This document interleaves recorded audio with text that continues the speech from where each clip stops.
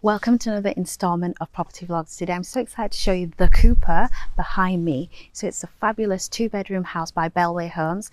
If you're looking for the pricing or the availability or location, please click the link in the description. But if you want to see the eye candy inside this tour, stay tuned and we'll tour the whole thing together. Come inside. Welcome. Right. Now that you're inside, let me tell you about what I'm seeing as in first impressions. So now that we're in the hallway, we've got this matting at the the bottom, which is great for not tracking in dirt or anything. Straight off the matting, we've got this really great uh, flooring as well and wood grain effect. Again, these are options that are up to you to decide. Um, specifications are all determined based on the development. And so it's just a nice um, way for me to just tell you what you're seeing here, but just bear that in mind that it's up to you to customize what you'd like in your house. So we've got a radiator here, we've got security system there, the front door is obviously behind me, and then through here is the downstairs toilet.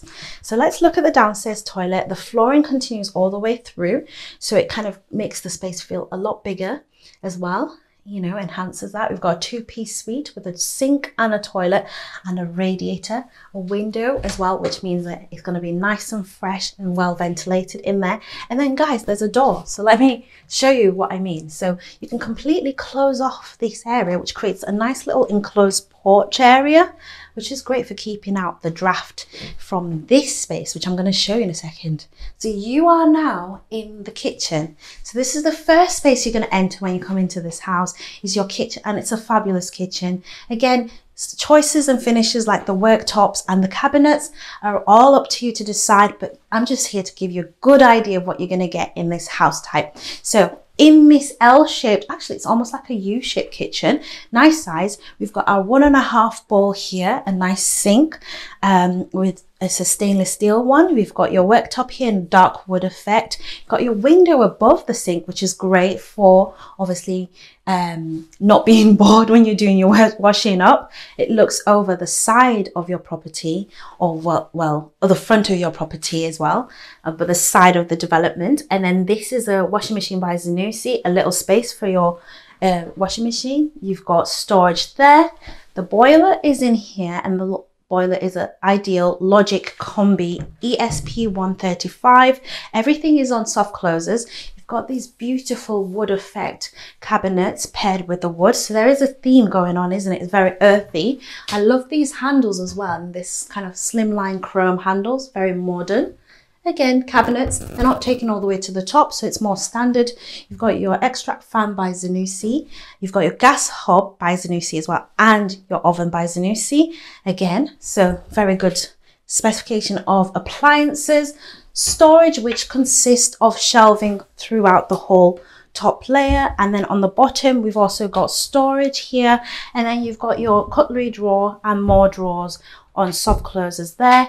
You've got your space for your fridge freezer there.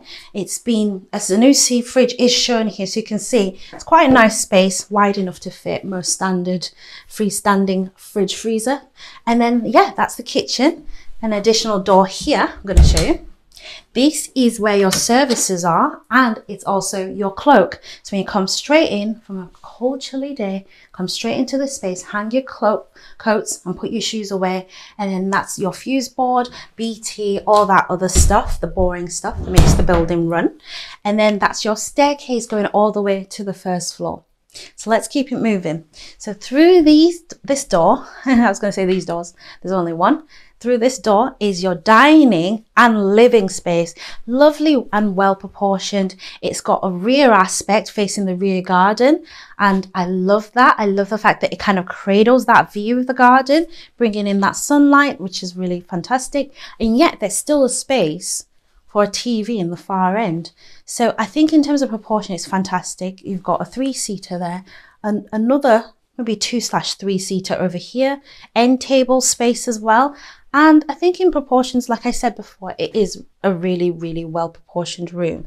You've got these double doors, facing the back garden. As you can see, the general arrangement, we're just going to show you just there because we know quite a few people are always interested in seeing the gardens. So you can see the garden, which gives you an, a kind of a sort of taste for what you're going to get. And then you can see the garage over there as well, um, easily accessed from the garden. And you can see the paving and the lawn and then everything else like the plants, the trees, the little cute little tiki bar at the end. Um, the Willow Park bar that as you can see over there is not standard and it won't come with the property. Um, but yeah, it just gives you an idea of what you can do. And it's quite an imaginative way to play on the space you've got there. So let's look at the next space there and that's this one over here. So let me just show you what's going on here. This is additional storage space. So for, you know, vacuum cleaners, cleaning equipment, whatever, can just go in there. And I would advise you put, um, you ask for them to upgrade that to have lighting so you can see in there as well. So again, this is the dining nook as you can see. And it's staged at the moment with the four-seater. I think it could easily fit a six-seater because it's actually quite nicely proportioned for four people. And you can definitely see that there's enough space to upsize if you wanted to. So let's keep moving and let's go to the first floor. So now that we're on the first floor landing, let me show you the first room of the two on this floor. So the first room over here with a rear facing window, which looks over the garden, is your first double bedroom. So as you can see, you can see one of the panes opens. So on a hot day, ventilation through there. You've got sockets either side of the bed. Again, those are movable depending on what you like. You've got a king size bed. And I want to point out, guys, it's not a double, it's a king size bed. So just know that they've gone with upsized furniture to give you an idea of what you could do. But again, you could obviously scale it down or up if you want to. Bedside tables either side, large headboard, really nicely framed by the wallpaper. I love that. And then over here, we've got our wardrobes with the sliding doors, fitted wardrobes. You could opt for non-fitted wardrobes if you want. Um, it's completely up to you, but it gives you an idea of the type of space you have after you've fitted the wardrobes and the bed, what you've got left to play with. And there's still enough space. So let's keep looking. In addition to that, guys, we've got this over here, which is your wardrobe space. Additional bonus wardrobe space or additional store. You might want to put a light in here, guys, depending on what you store in there. Maybe it could be a shoe closet or a shoe gallery. So it's completely up to you. It's nice to have that additional bonus space.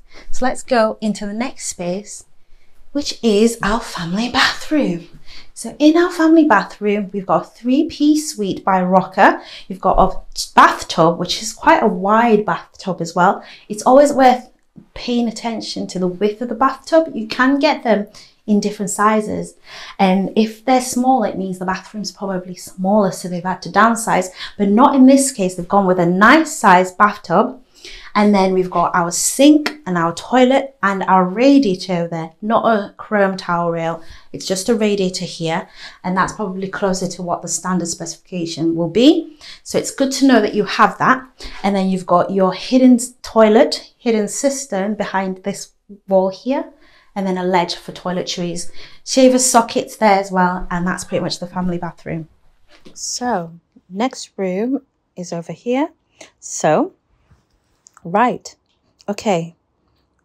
I'm really loving the vibe of this space. Um, this is your primary room. So the primary room, let's talk about what we're looking at. We've got a king size bed over here. And again, you can upsize that into a super king.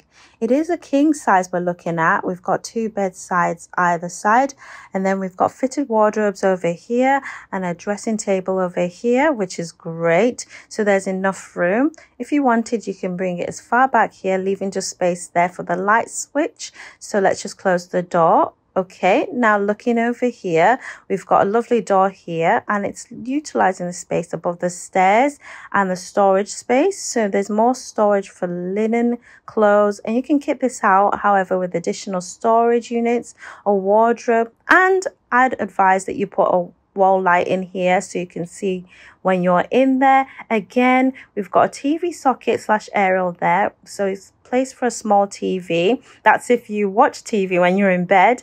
And then you've got a window facing the side of the property, quite a wide window with an opening. And this, I bet you can guess already, right? This is your ensuite. So because it's your ensuite, you come in and with this ensuite, you've obviously got a sink and a sink and a toilet and then it's been tiled in this white high gloss square tile and there's a chrome strip and there's window obscure glazing and then to my right your left there's a glass sliding uh sliding shower um sliding shower doors to your shower and there's showers by Mira, a thermostatic shower. In terms of width, it's quite a nice width. It's definitely close to a meter, if not more. I think it's quite a nice size for this size house to have that as part of your primary bedroom. So with that being said, thank you so much for watching this tour so far. Let us know if there's anything that you've missed. And most of all, click one of these links that is going to pop up and subscribe so that when our video pops up, you'll be one of the first to be notified. In the meantime, see you later. Bye.